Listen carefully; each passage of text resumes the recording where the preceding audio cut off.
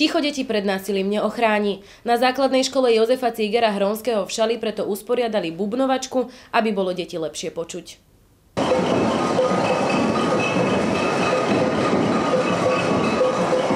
Takto sa bubnovalo vo veľkej telocvični. Deti prvého a druhého stupňa si priniesli bubny, hrnce, várešky, hrkálky alebo podomácky vyrobené nástroje, ktoré vydávajú čo najväčší rachot. Vlastne táto akcia nie len pod záštitou pani prezidentky, ale aj Centra Slniečko, ktorý sa zaoberá deťmi a deťmi, ktorí sú vlastne pod nejakým tlakom alebo môže vlastne u nich v rodinách byť násilie alebo podobne.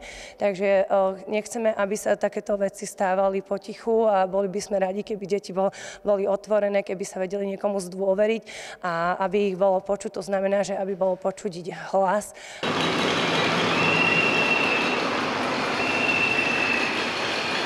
Aby mali dôveru v dospelých a v prípade problémov sa neváhali zdôveriť napríklad aj svojim učiteľom alebo riaditeľke školy. V školskej praxi stretávame naozaj rôzne prípady. Sú deti, ktoré nemajú doma ideálne prostredie na učenie, na vôbec život v radosti, tak e, sme preto boli radi a náchylní, keď pani učiteľka prišla s týmto návrhom a naozaj sme ho podporili, aby ten hlas detí bolo počuť, aby si to uvedomili nielen naši kolegovia, ale aj všetci rodičia, že sú a vyskytujú sa deti, ktoré potrebujú našu pomoc.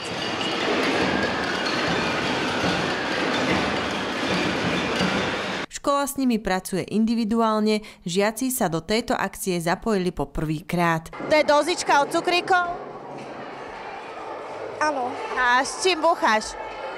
S varechou. A ty máš odkiaľ ten bubon? Od sestry. Donesla som si varešky a hrkálku.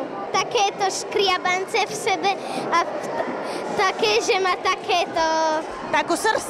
Áno. Paličky máš originálne však? Áno, Beat hrá na bubny, tak mi dal. Máme uh, krabicu od pice, do ktorej proste buchame. Michaela Matušková, televízia Krea.